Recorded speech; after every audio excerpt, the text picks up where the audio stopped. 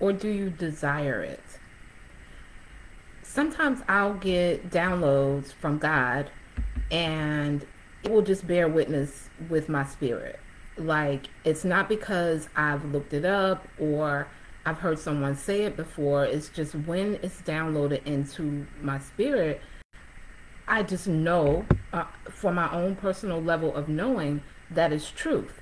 Well, I had a download just maybe an hour ago now. I, I, I don't remember exactly what time it was, but I do remember posting on social media. And after I made the post, I was like, wait a minute. I said that, but I've never like looked this up or I've never heard anyone say it. And I'm like, oh my goodness. And so I go and I look it up. and what I stated was many women after uh, a failed relationship or divorce want to be married, um, sometimes out of desperation, or they don't want to be married at all. And then there are those who desire to be married. And I stated, and, and I'm kind of doing some wordplay here because I can't remember exactly what I said, but you can go back on my timeline if you're on this particular platform uh, to see what I posted. But I talked about the fact that wanting and desire are two different things. They're two different energies and they yield two different results. I also said that desire comes through healing.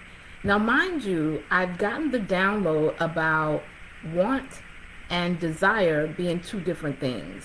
And it just bared witness to my spirit, bared witness to that, but I didn't know all the details. So I, after I realized, I'm like, oh my goodness, like, how does want and desire um, differ if I had to have a conversation and, and explain this? Because this was a download. So I went and looked up the Hebrew words. Listen, the Holy Spirit is bad. Okay? I went and looked up the Hebrew definitions for the words want and the words desire. And here's what it said. My God. Want for for the word want in Hebrew it said lack, deficiency, scarcity, deprivation, need. Y'all got to hear me. Do you want it or do you desire it?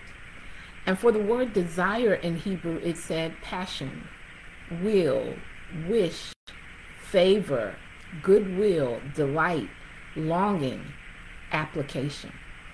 Now, those two words are often used interchangeably, especially about things that we want in our life and in our business. And a lot of times I can tell whether a client who's coming to work with me has accessed the level of desire or if they're just in the stage of wanting. Because wanting comes from a different place. Wanting comes from a place of lack, scarcity, something I talk about all the time. It's a completely different energy.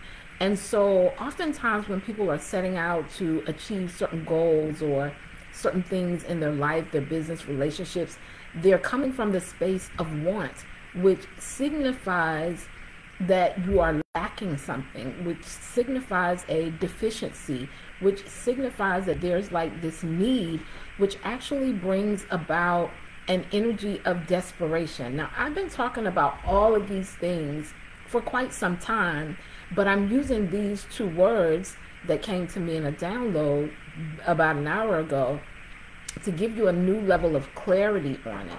You know, I talked about how desire comes through healing you know, if you've gone through a failed relationship or divorce, you may be in a phase where you don't want to marry nobody else. you ain't studying get married again, right? Or you may say, you know, I want to be married again. But until that want turns into desire, which has a level of wholeness with it, the energy that, by which you go to achieve the thing, the relationship, or even if it's something in your business, it's going to be a different energy. It's going to attract a different type of person. Imagine you want a, an amazing relationship. This is what you say that you want an amazing marriage, and you come with want energy. What type of person do you think you will attract? Will it be a whole person or will that person be lacking in some prominent areas that won't fulfill foundationally what it takes to, you know, have an amazing marriage? But imagine if you're coming from a healed space and now you desire it because you've done your inner work, you've done your healing, you feel whole by yourself. You're not um, needing, remember, need was under, as the Hebrew explained the definition of want, it even turned into need. So in desire, you're not coming from a place of need. You've done your inner work, your healing, you're whole on your own, you feel great, you desire it. It's a completely different energy. So I wanted to come on and share this with you all because I want you to think about even your goals in your business, in your life, whatever it is that you're saying you want to achieve in 2024.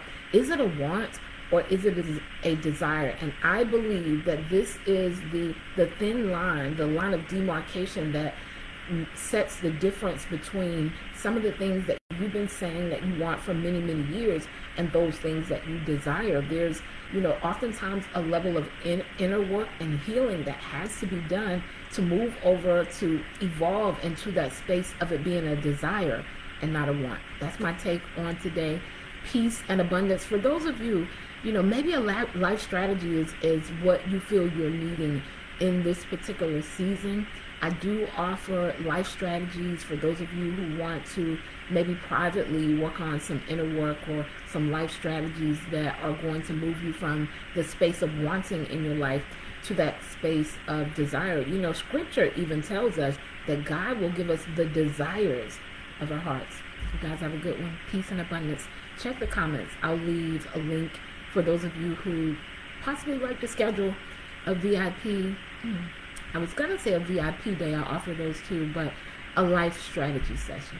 Peace and abundance. Do you want it or do you desire it?